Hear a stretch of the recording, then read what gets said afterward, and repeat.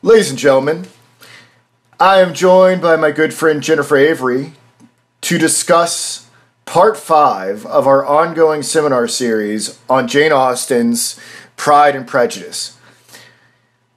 Jennifer, why don't you take it away? What do you want to talk about today? Oh, first, before we do that, I want you to tell everybody what you do and how they can get in touch with you.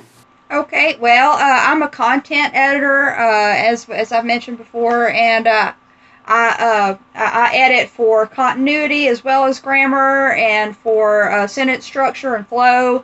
And if you would like to uh, talk to me about uh, my editing the 20, first 20 pages as a sample, uh, my uh, email address is javerysce at gmail.com. And that is javerysce at gmail.com. And I'm also happy to uh, do tutoring gram- uh, to tutor grammar and literature and creative writing. Fantastic, fantastic. So, what are we going to be talking about today? Okay, well, we are on chapter 12 of Pride and Prejudice, and uh, poor Lizzie and poor Jane are still at Netherfield, and uh, but this, but they're almost done. Jane is almost well, and so uh, they, so they decide one. They kind of have a conversation with each other one morning and say, "Hey, well, uh, let's send a note home and see if um, Mom will let us come home." And uh, they get a note back from Mrs. Bennet, and she's like, No, you can't leave yet. You need to be there for a whole week, so I'm not going to send the carriage for you until Tuesday. Well, this is just not going to work for the sisters because Lizzie is really tired of having to spend so much time with Mr. Darcy and Miss Bingley and uh, Mr. Hurst and all these people that she does doesn't really like that much and uh, they pretty much decided that if they stayed any longer, then it would seem rude anyway. And so they fin- and so they finally decide to talk to Mr. Bingley about loaning them his carriage so they can go home. And so that's what they decide to do. And Mr. Bingley understands, but that but his sisters kind of urge them to stay one more day. Uh, and uh, and so they so they kind of begrudgingly say, okay, well, we'll stay one more day uh, just to make sure Jane's well. And uh, that's what they do. And uh, and from uh, in the text, um, the only person who's really sorry for this is Mr. Bingley because he really does like Jane, and he hates to see her go, and he's really enjoyed having her there but everybody else is kind of happy about this. Miss Bingley does not like Lizzie at all because she knows that Mr. Darcy has been watching Lizzie with a particular interest. Mr. Darcy is really ready for Lizzie to go because he uh, because he's really beginning to like her and he knows that if he starts to like her uh, that they that nothing would ever come of it because of the difference in their and their social standing and the difference in their estates and the money and all of that. Uh, and so, um, and so Mr. Darcy's happy to see them go. And so finally, they do kind of head home and. Uh, like this one little bit right here that I want to read uh, about Mr. Darcy, and you really be, really see like this kind of plants the seed for what happens later on in the book when Mr. Darcy and Bennet and and uh, Elizabeth get together again later on. Um, to Mr. Darcy, it was welcome intelligence. Elizabeth had been at Netherfield long enough. She attracted him more than he liked, and Miss Bingley was uncivil to her and more teasing than usual to himself. He wisely resolved to, partic- to, to be particularly careful that no sign of admiration should now escape him, nothing that could elevate her with the hope of influencing his felicity. Sensible that, if such an idea had been suggested, his behavior during the last day must have, have material weight in confirming or crushing it. Steady to his purpose, he scarcely spoke ten words to her through the whole of Saturday. So basically, he knows the way that he acts the last day that she's there is going to leave a stamp in her mind and other people's minds about how he feels about her. And so he's very careful to not pay her any attention for the whole last day, and that's exactly what he does. And so finally, uh, after they go to church, um, which is, this is on a Sunday, they uh, Elizabeth and Jane head home. And when they get home, Mrs. Bennet's not happy to see them. Mrs. Bennet wanted them to stay longer, and she kind of gets on to them for using Mr. Bingley's carriage. Oh, what will he think of us? And so they and uh, and pretty much all and Mr. Bennet, bless his heart, he says that uh, he says that the evening conversation when they were all assembled had lost much of its animation and almost all of its sense by the absence of Jane Elizabeth, is how Mr. Bennet sees it. Uh, and uh, then they, and uh, basically, uh, Mary's sitting there studying, and Lydia and Kitty are talking about officers as they usually do, and that's the end of chapter 12. um, and chapter 13. Now, here comes a new character. Uh, Mr. Bennet uh, says to Mrs. Bennet, uh, Well, I hope you have a good dinner prepared because we're going to have a guest. Immediately, Mrs. Bennet says, Oh, Mr. Bingley's going to come and have dinner with us. And Mr. Bennet sa- immediately says, No, it's not Mr. Bennet. It's not Mr. Bingley. It's somebody I've never met. And the person that he's talking about is Mr. Collins. Now, Mr. Collins is Mr. Bennet's nephew. It's his brother's son. And Mr. Bennet and his brother did not get along well with each other. But because Mr. Bennet did not have any sons, his estate is entailed away to the nearest male relation, who is Mr. Collins. And so now the guy who's going to inherit inherit Longbourn the house where all the Bennets live, uh, he is coming to dinner. Now, Mrs. Bennet is immediately offended by this. She she just complains about him for two or three paragraphs, uh, and uh, but she doesn't really. Uh, but because Mrs. Bennet's kind of dim, she doesn't understand that there's nothing that can be done about it, and it's not even Mr. Collins' fault. It's just the way that the terms are written. It's the law. They have to abide by it, and there's nothing they can do about it. So the daughters aren't going to get the house, and as soon as Mr. Bennet's dead, uh, Miss, Mr. Collins will be able to come in and start living at that house, and he can do with the with the daughters anything he wants to, essentially. But Mr. Bennet reads a letter from Mr. Collins, and this letter is the first indication of the kind of person we're dealing with here. Okay, so first of all, things you need to understand about Mr. Collins. Mr. Collins is not very bright. he's not very bright at all. Uh, he's gotten lucky, and uh, he's uh, he is uh, the uh, the clergyman for a parish uh, that is adjacent to Rosings Park, which is the home of Lady Catherine de Bourgh. Now, a lady lady and lord. These are very high so these are very high ranks in that during that time. The house of lords uh, in the parliament they're basically like the senate. And so uh, and the lords are all landed gentry but they have a lot of influence a lot of pull and they're from old families. So ha- they have all of these things in their favor. And lady catherine is the is the widow of a lord okay and so Mr. Collins is uh, is in charge of the parish near Lady Catherine's home, and uh, all he can talk about is how marvelous Lady Catherine is, how beautiful her house is, how um, and a word that he uses a lot is the word condescension. Lady Catherine shows me uh, let me see. She, she shows me such condescension. Um, let me find it here. Okay.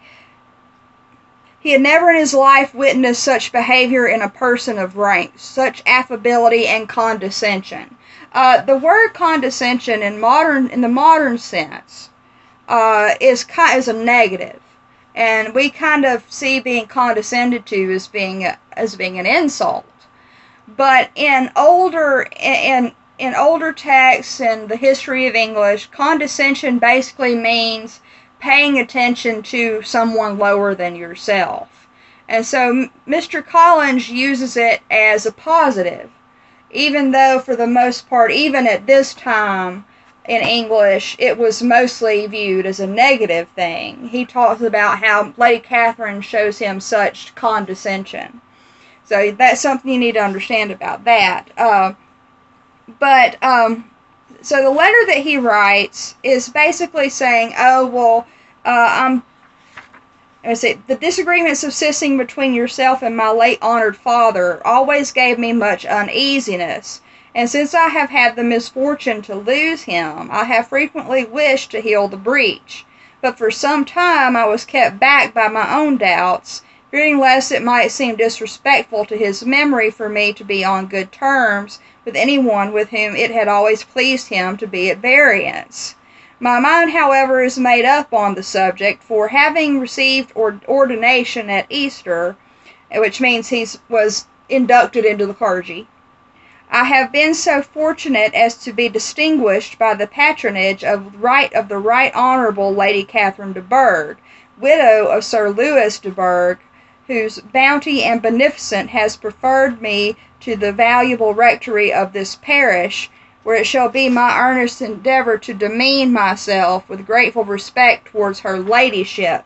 So the only important thing that he sees about joining the clergy at this point is that it is uh, uh is for the par- for Lady Catherine's parish, and he and even his desire he's even he says even his desire to uh, to make peace with Mr. Bennet stems from Lady Catherine, from feeling this importance of being the clergyman for Lady Catherine. And so everything stems from her and his relationship to her. Um, and so he says that he wants to make amends to the daughters of the house because they can't have this house when Mr. Bennet dies. He feels guilty about it, so he wants to make amends to them. And at this point, nobody knows what that means. Uh, but, uh, but in any case, uh, Mr. Bennet says uh, that they're going to expect him at 4 o'clock that day. And when he arrives, uh, well, actually, after after he reads the letters, we, she uh, Austen talks about the different reactions from the different family members. For the uh, Jane, Jane is a little bit curious as to what he means by making amends to the daughters. Elizabeth can't get over his deference for Lady Catherine and uh, his kind intention of christening, marrying, and burying his parishioners whenever it were required. Uh, and uh, Elizabeth thinks that he's he must be an oddity, and Elizabeth gathers from just this letter exactly what he is, which gives you a really good insight into how incisive Elizabeth is about characters, about people. Uh, and just from this letter, she's figured him out. Uh, but of course, he's not really that difficult to figure out. but uh, in any case, uh, she says there's something very pompous in his style. And what can he mean by apologizing for being next in the entail? We cannot suppose he would help it if he could. Can he be a sensible man, sir? And she's looking at her father, and and her and Mr. Bennet says, "No, dear, I think not. I have great hopes of finding him quite the reverse." There is a mixture of servility and self-importance in his letter which promises well. I'm impatient to see him. And so Mr. Bennet's looking forward to it because he can laugh at this guy. Because he knows he can laugh at this guy at how ridiculous he is. And, and Mr. Bennet, as we know, that's one of his favorite pastimes is laughing at stupid people. uh, but, uh, but in any case, um, and uh, Mrs. Bennet is is. Like she like all after all of her rants about how awful this guy is and oh this odious man. Don't mention his name. Uh, Mrs. is like, oh well, you know he actually sounds kind of nice, and I do hope that he does make amends to the girls. And she's immediate. She's taken in by this, whereas Lizzie, Jane, and Mr. Bennet uh, aren't uh, but the younger girls just don't care enough. Um, Mary, well, actually, Mary is impressed by how he expresses himself. Uh, and actually, it's kind of implied that Mary kind of forms a little crush on Mr. Collins. Um, and but Lizzie and Kitty just don't care because he's not he's not going to show up in a red coat. He's not an officer, so he's not worth their notice. Um, but in any case, Mr. Collins shows up on time. And uh, the first thing he does is compliment Mrs. Bennet on how well the the house is arranged and how nice the furnishings are and everything like that. And um, uh, and Mrs. Bennet, uh, she said, uh, she said this gallantry was not much to the ta- Oh, wait a minute, it's the wrong one. Yeah, yeah, yeah, yeah, yeah. Oh, what is it? I can't find it. No, I'm sorry. Right. First of all, he said he talks about how he was happy to find that the girls are so pretty. Yes, he had heard that the girls are pretty and and um, and that they're you know and they're and they're affable or you know uh, engaging young ladies and um, and of course uh, Mrs. Bennet's like oh yes of course you know and. Um, and Mrs. Bennet and and why and, and then he goes about talking about how nice the, the furnishings are and how well it's set up and Mrs. Bennet's a little bit you know look, looks at him a little askance uh, because she, she's thinking well he's looking at this like it's his already um, and so and so there's that little tiny little bit of tension but as soon as he compliments the girl she's she's all nice again but in any case that's pretty much um, the end of chapter 13, uh, they bring him to dinner. Uh, that they go into dinner is pretty much the last thing. Um, and all uh, he says, uh,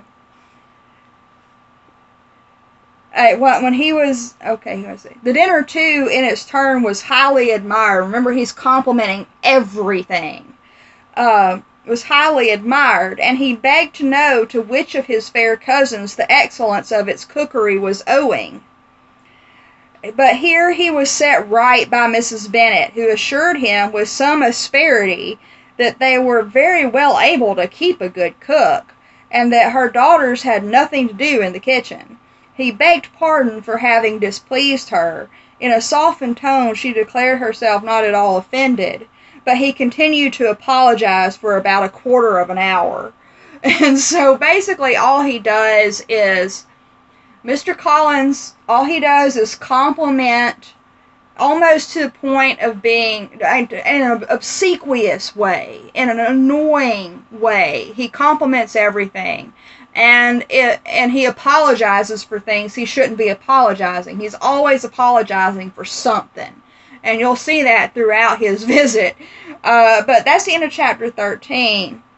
And going on to cha- uh, chapter 14 is uh, they've they've had dinner they've had dinner and after dinner Mr. Bennet's been quiet for the most part and now after dinner uh, Mr. Bennet decides to have his fun. Uh, and Mr. Bennet says Lady Catherine de, uh, he, he says to Mr. Collins uh, Lady Catherine de Bourgh's attention to his wishes and consideration for his comfort appeared very remarkable. Mr. Bennet could not have chosen better Mr. Collins was eloquent in her praise. The subject elevated him to more than usual solemnity of manner, and with a most important aspect he pro- protested that he had never in his life witnessed such behavior in a person of rank, such affability and condescension as he had himself experienced from Lady Catherine. And uh, so, and he goes on and on about how great Lady Catherine is. Like he's uh, talks about how she how uh, she uh, how, how she approved of all of his uh, of all of his his sermons and she's invited him to dinner. She even asked him to play cards with him one with her once. And she actually visited visited him at the rectory and and made some suggestions to put shelves in the closet. So um, she, he goes on and on about this um, and then they start asking some questions about if she has any kids, if she has any children. And then he starts talking about uh, Mr. Berg. And he's, uh, let me see. Okay, he says, uh, she's, oh, he says, I have more than once observed to Lady Catherine that her charming daughter seemed born to be a duchess and that the most elevated rank, instead of giving her consequence, would be adorned by her. These are the kind of little things which please her ladyship, and it is a sort of attention which I conceive myself peculiarly bound to pay. And so basically, uh, first of all, Mr. Berg, Anne Bourgh, uh, Lady Catherine's daughter, is sickly uh, she's small and she's and she gets sick really easily and she doesn't really go out. She doesn't really do anything. Uh, and so all she does basically is stay home with her mother. Uh, but Mr. Collins says, oh well, uh, talks about the compliments that he pays to Anne de Bourgh. And he actually admits, I conceive myself peculiarly bound to pay these attentions. Like he's purposefully and falsely almost praising this lady. And uh, Mr. Bennet notices this. He says, You judge very properly, Mr. Bennet, said Mr. Bennet, and it is happy for you that you possess a talent, the talent of flattering with delicacy. May I ask whether these pleasing attentions proceed from the impulse of the moment or, or, or are the result of previous study? so this is one of my favorite, this is one of the funniest lines in my opinion, in this book. It's because he's basically saying so basically every compliment you pay comes does it come from your actual thoughts at the moment or does it come from you forming these compliments yourself when you don't and he said and and Mr. Collins actually admits they arise chiefly from what is passing at the time and though I sometimes amuse myself with suggesting and arranging such little elegant compliments as may be adapted to ordinary occasions, I always wish to give them as unstudied an air as possible. So he's admitting to being insincere here, and he doesn't even realize it. And that's how important rank is to some people in these books, is that they are willing to basically lie to shove their noses firmly into the rear of the people that they're trying to please. And that's exactly what Mr. Collins is. He's a sycophant. He's a complete and utter sycophant, and uh, and and that's pretty much the whole of his character is the fact that he is a sycophant. And um,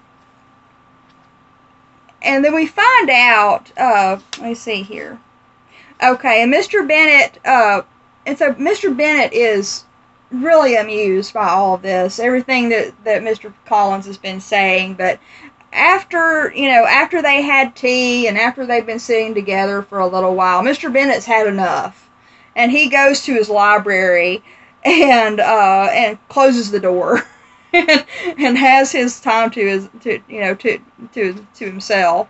And so the ladies, uh, so the ladies try to get Mr. Collins to read to them, and uh, Mr. Collins readily assented, and a book was produced. But on beholding it, for everything announced it to be from a circulating library, he started back, and being parted, protested that he never read novels.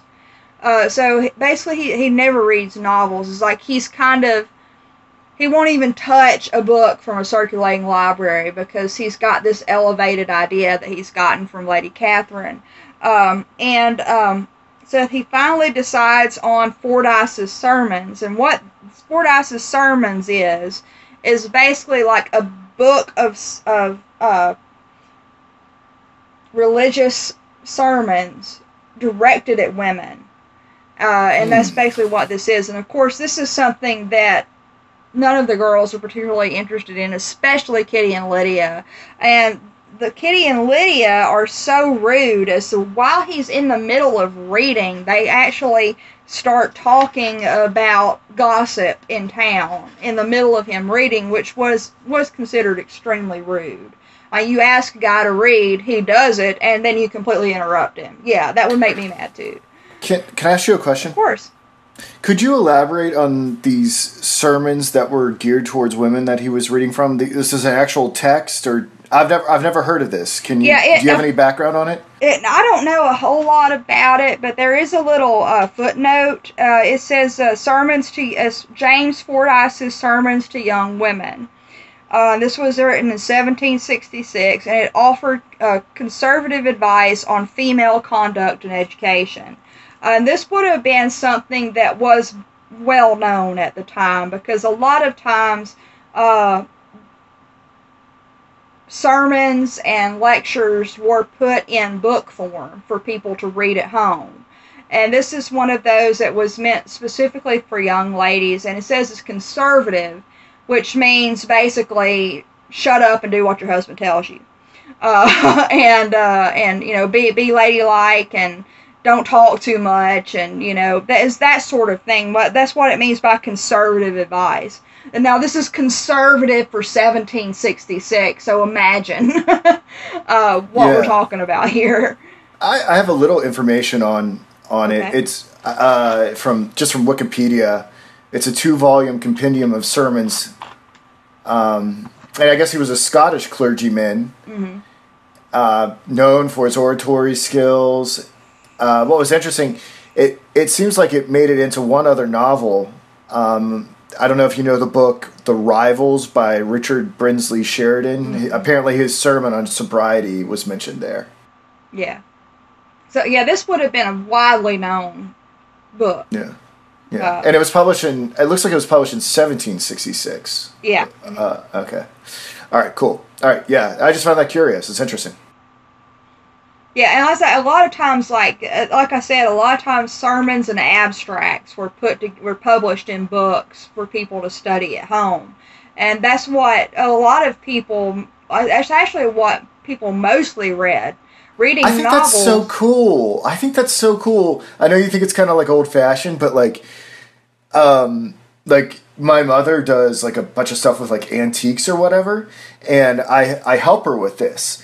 And oftentimes, like we'll go we'll go through estate sale stuff, and I'll find like these like incredibly small Bibles or incredibly small versions of the of the New Testament or something like that, or or or the U.S. Constitution Yeah. or some other thing, and like I just think about how you know how people like hundreds of years ago were walking around with books on them and like to kill time we're reading this incredible like six point font print Yeah. and educating themselves wherever they could and instead what we're doing today a lot of the times is taking selfies and i i you know I, I i like to think that i use my iphone in a way that is always like educative because i'm constantly listening to sermons and and and books and lectures and things like that but i have a feeling i might be a little bit of an outlier uh, but but I just thought it was such an interesting relic of history that people carried around books with them everywhere. And it's not like they were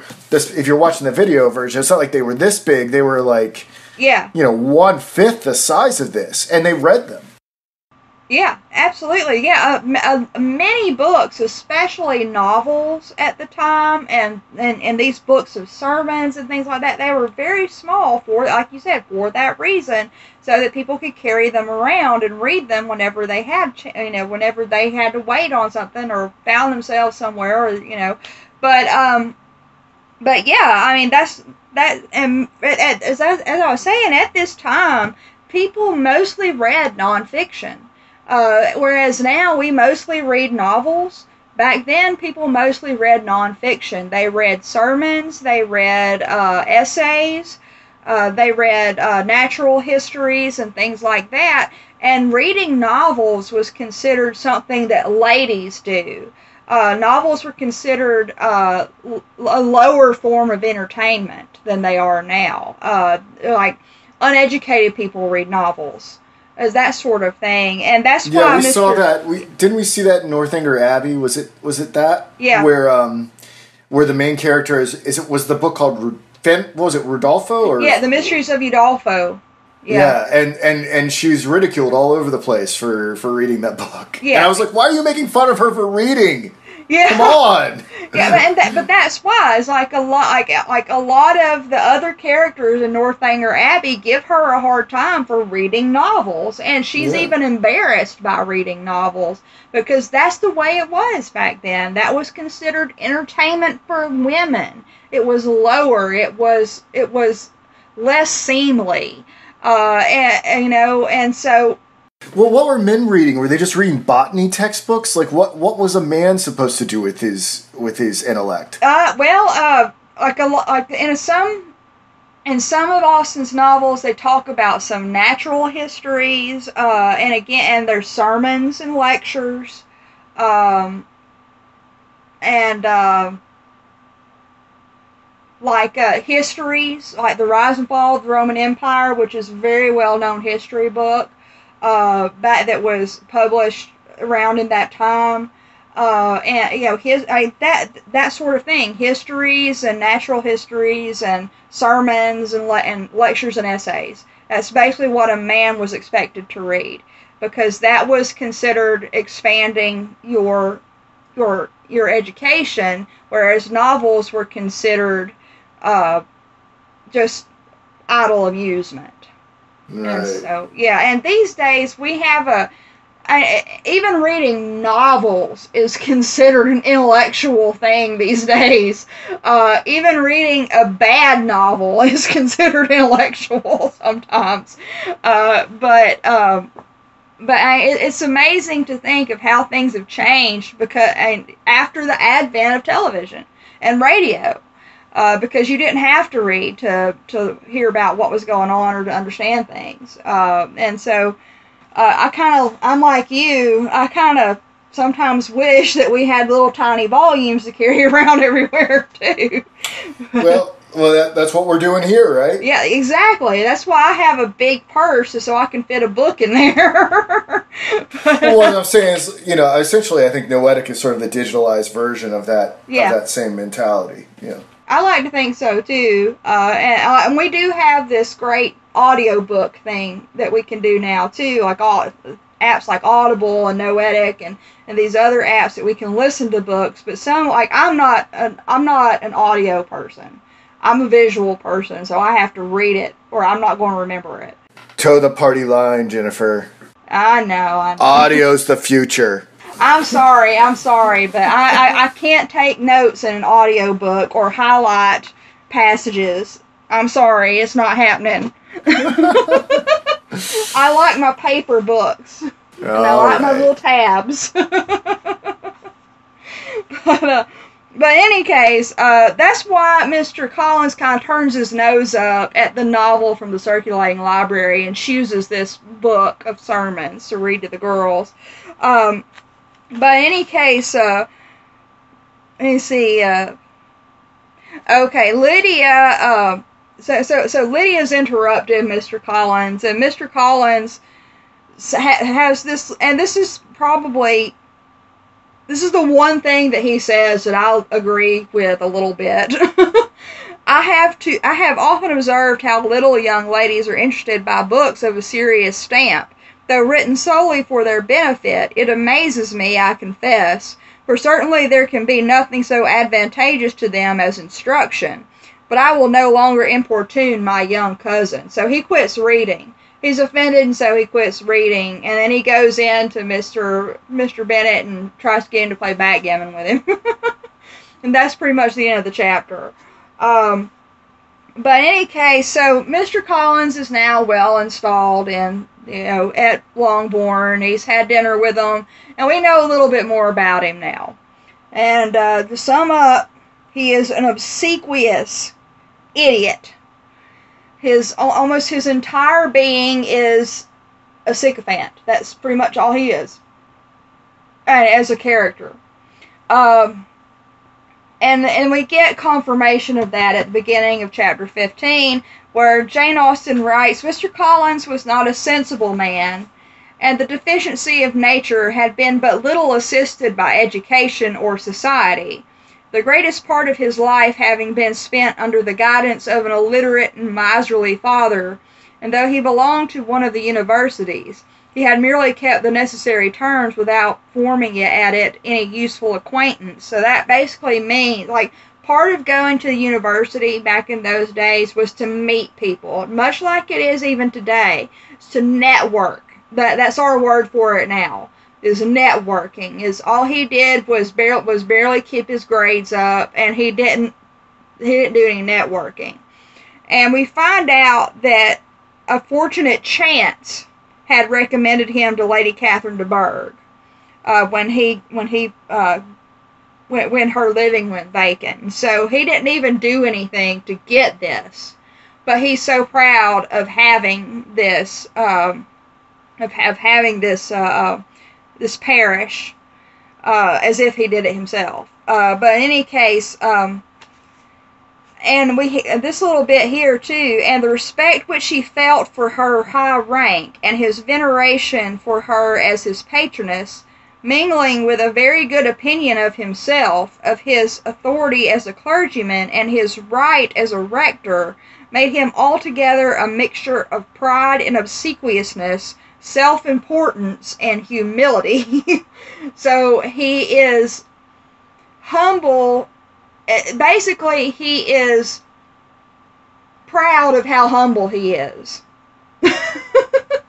it's it's it seems like an oxymoron, but that's what this basically is. And I'm sure that we all know people like this. I know I've known people like this.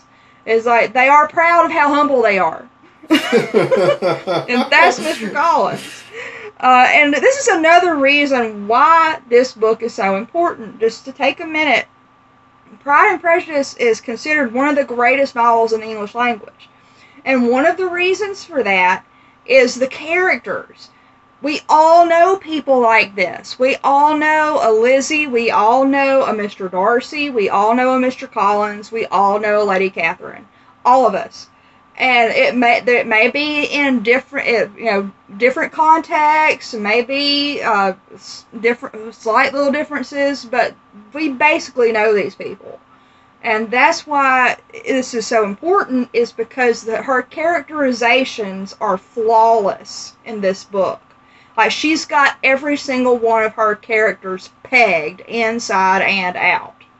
And Mr. Collins is a great example of that, I think. Um, but in any case, um, so we she she goes on in, in, the narrative that now that he has a good income, now that he's got this house, now that he's got a place, he's looking to get married. And part of the reason why he thinks he needs to get married is because Lady Catherine said he should. Um, and uh, his plan, and we find out that he had planned on choosing his wife from the Bennet girls. Oh boy, won't they be so excited? And uh, so we find out that his first object is Jane. Obviously, because she's the oldest and she's the prettiest and she's the sweetest, and we know that. But Mrs. Mrs. Bennet kind of rains on his parade and says, "Oh well, you know, I have to kind of hint that she might be getting engaged soon, so you might not want to think of her." And so immediately, uh, and it, says here, um, uh, let me see what this is. Mr. Collins had only to change from Jane to Elizabeth and it was done. It was soon done. Done while Mrs. Bennet was stirring the fire. so essentially, because Lizzie is the second oldest, the second prettiest, and the second sweetest, uh, he decides on Lizzie. And bless her heart, because Mrs. Bennet thinks it's a great idea. Um, and so she says that she, uh, she it, it says Mrs. Bennet treasured up the hint. So she's got it in her head already that she's going to have two daughters married, and she's about ready to throw a party already, even though nothing's happened yet. Uh, not and and again, not even thinking about what her daughters want, and not even thinking about what an idiot this guy is because she doesn't know he's an idiot because she's an idiot herself. but in any case, um, but in any case, uh, so Mr. Collins has decided that he likes that he's going to like Lydia or Elizabeth, and uh, after all of this, uh, Lydia and Kitty had had already kind of decided let's let's walk into town. And the reason why Lydia and Kitty always want to go into town is because that's where the soldiers are. That's where the officers are and that's where they get all their attention. And they love gossip and they get all the gossip they want to from mrs phillips and so they always want to go into town. And so they decide to go into town and mrs and mr Bennet, because he wants mr collins out of his library and away from him says yes walk with my daughters into town. Get away from me for a while. And so they go they all go to town together and um, so basically, and, and so they, they all walk into town, and when they first get into town, uh, they see uh, one of the officers, Mr. Denny, who Lydia has already mentioned and who Lydia probably kind of likes already. And uh, Kitty and Lydia see him with another person, somebody they don't know. And this is where we meet the infamous Mr. Wickham. Uh, Mr. Wickham, uh, Mr. Denny says that Mr. Wickham is a friend of, of Denny's uh, who had come from London and he's going to join the regiment. And immediately, uh, Kitty and Lydia are are in raptures because oh he's going to be wearing a red coat now so of course he's going to be handsome and nice and good uh, but um, here's the, our first description of mr wickham his appearance was greatly in his favor. He had all the best parts of beauty, a fine countenance, a good figure, and very pleasing address. The introduction was followed up on his side by a happy readiness of conversation, a readiness at the same time perfectly correct and unassuming. And the whole party were still standing and talking together very agreeably when the sound of horses drew their notice. So they've just met this good looking guy. Uh, he's uh, he's handsome and he and he's well spoken and and he talks to other people easily and so all of this is in his favor. And then here comes Mr. Darcy and Mr. Bingley in town. And Mr. Bingley says, Oh, well, we were just coming to check on Jane to see how she was doing. And uh, Mr. Darcy's just kind of bows and, you know, agrees with him. And all and Elizabeth happens to notice something. She says, um, I say, okay, uh, Mr. Darcy corroborated it with a bow, that is, to inquire after Jane.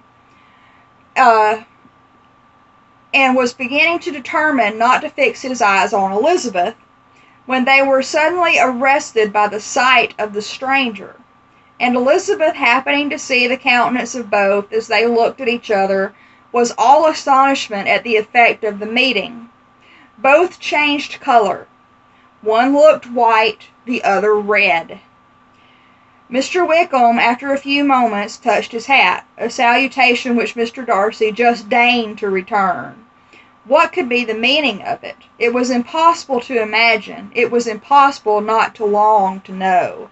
So Elizabeth catches this little exchange between Mr. Wickham, who they have just met, and Mr. Darcy. Not only do they look at each other like they know each other, but both their faces change color, and it's so clever. She says one turned white and one turned red, and she doesn't tell you who turns what color. Now think about this. What when somebody turns white what feeling do you associate with somebody's face turning white? Fear, maybe? Shock? Okay.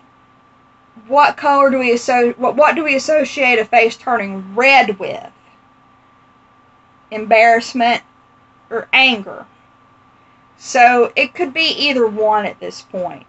Uh, so one of them is guilty and one of them is an injured party, but we don't know who yet because she doesn't tell us which turned what color.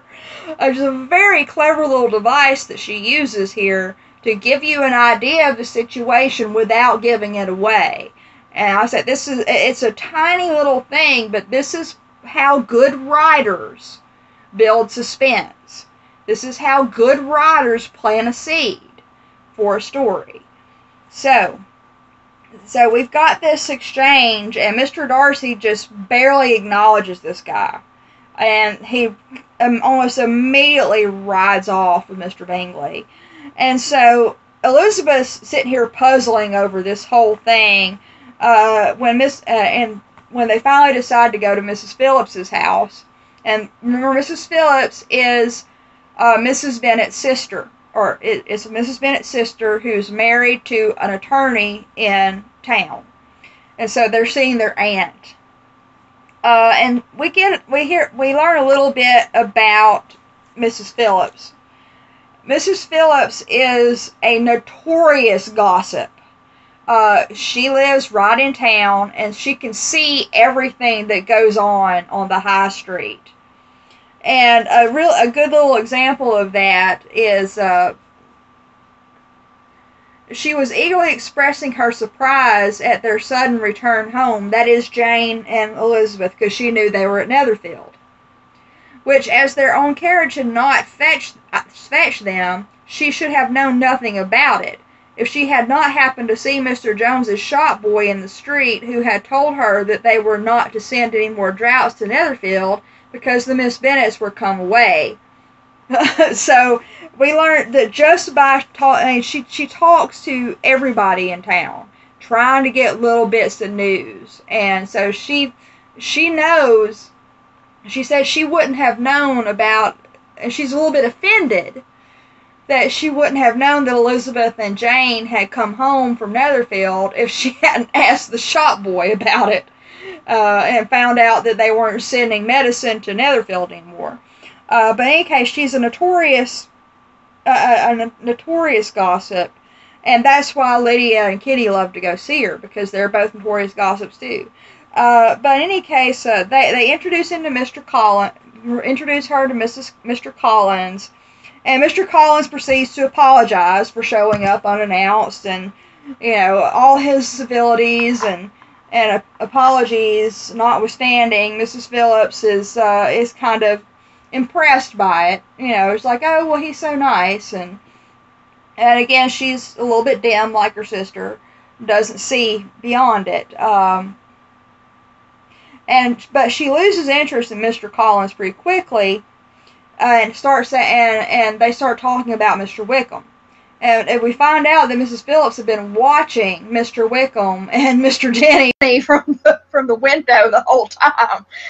she was watching everything go down from her window, and uh, and, and you know the, the, the Lydia and Kitty trying to ask her more questions about Mr. Wickham, but she only knows as much as they do that Mr. there was a, he was a friend of Denny's and that, that he'd come from London and he was going to take up a lieutenantship in the Corps. Um, she said she had been watching him the last hour, she said, as he walked up and down the street. And had Mr. Wickham appeared, Kitty and Lydia would certainly have continued the occupation, but unluckily no one passed the windows now except a few of the officers, who, in comparison with the stranger, that is Mr. Wickham, were become stupid, disagreeable fellows. And so now Mr. Wickham showed up, and everybody else, nobody else is anywhere near as cool because of the novelty and because he's good looking. That's it. and uh, so, um, so in any case, uh, Mrs. Phillips invites the girls uh, to come and have dinner with them, and she says, "Oh, well, we're going. I'm going to invite some of the officers too." And uh, so they decided to come and have dinner with Mrs. Phillips the next night. Um, and we get one last little dig at Mr. Collins, uh, and that Mr. Collins, on his return, highly gratified Mrs. Bennet by admiring Mrs. Phillips's manners and politeness. He protested that, except Lady Catherine and her daughter, he had never seen a more elegant woman, for she had not only received him with most with, with the utmost civility, but had even pointedly included him in her invitation for the next evening, although utterly unknown to her before. Something he supposed might be attributed to his connection with them, but yet he had never met with so much attention in the whole course of his life. So this guy is all superlatives and uh, and a nose up the butt. but, uh, but, in any case, uh, and that's the end of chapter. Uh, see, uh, chapter 15, and that's probably a good stopping point. Uh, but again, just to just to kind of recap, um, Mr. Collins, this uh, we we meet two fairly important two characters who are going to be pretty important later on in in these few chapters. The first of which is Mr. Collins, who, as I've said, is an idiot sycophant, and um, Mr. Wickham, who is this dashing, good-looking, well-mannered fella, uh, who, by the way, does not like and is not liked by Mr. Darcy. And so we know how Elizabeth feels about Mr. Darcy. She doesn't like him. Uh, even though we know, even though the reader knows that Mr. Darcy is attracted and likes Lizzie, Lizzie still doesn't like him. Uh, okay. Uh, she's a, she's still convinced that he's this proud, disagreeable guy who's just looking down on her. And so her immediate thought, and so you know, given this, you can imagine what her first thought of this weird exchange between the two men is is that oh well mr darcy did something wrong to this nice uh, open character you know open uh, good looking man because I know I don't like Mr. Darcy, but I think I might like this guy, so Mr. Darcy must have done something wrong. And that's where the prejudice part comes in. uh, we, we know the pride part is Mr. Darcy at this point, and we know that the prejudice part is, is Lizzie at some point. But throughout the course of the novel, you begin to understand that it's pride on both their parts and prejudice on both their parts. Whereas one is more is is one or the other, where they're one or the other at the beginning, it kind of morphs into that both of them realizing that it's both for both of them. Um, so in any case, um, Lizzie's already made up her mind about Mr. Darcy, and she's kind of already made up her mind about Mr. Wickham. And this is extremely important for later on. Uh, so just don't forget that. And uh, just a quick uh, literary nerd thing here is the fact that we know that Mr. Darcy is likes Lizzie, but Lizzie doesn't. That is dramatic irony. Mm. Dramatic irony is where the reader knows, but the characters don't. It's like when you in, in a horror movie and you see the ghost, but the like behind the character, but the character hasn't seen the ghost yet. That's dramatic irony, and just remember that because rain on your wedding day is not irony. so that's pretty much it. And next time we'll start with chapter 16 and and Mrs. Phillips's party. right on, right on. Well, thank you, Jennifer. Another excellent lesson. And I'll have this uh, edited and up on all the uh, traditional platforms and on the Noetic app as well. So, um, yeah, everybody have a great weekend. Thank you.